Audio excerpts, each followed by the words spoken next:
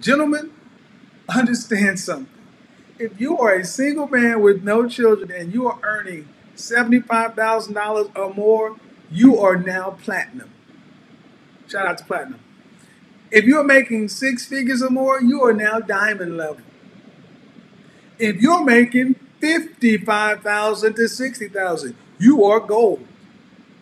You are far more valuable than you have ever been. And here's the trick. You guys don't know how valuable you are. And that is why so many of my critics and detractors are angry at me because I am waking men up to their true value.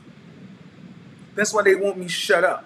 That's why they want me off this. They don't because of the impact it's having upon right thinking men and right thinking women.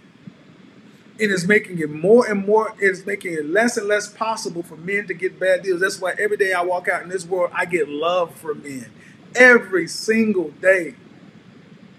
Shout out to the two young two young dudes.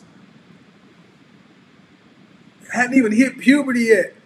No offense, but y'all still look young to me. They could barely get the words out. Those dudes had to be 14, 15. Those men are going to have a different outcome because they're not going to accept bad deals.